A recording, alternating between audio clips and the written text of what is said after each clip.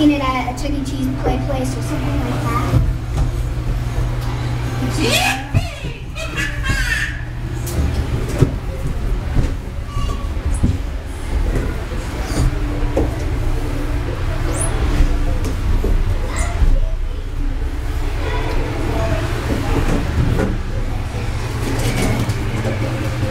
It's the um, type of the dome that moves from up and down.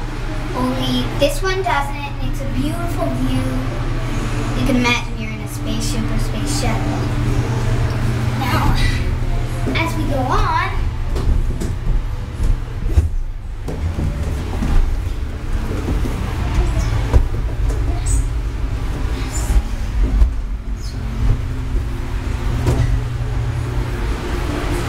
Um, you might have noticed during past videos that either we have one race car or none. This one the yellow race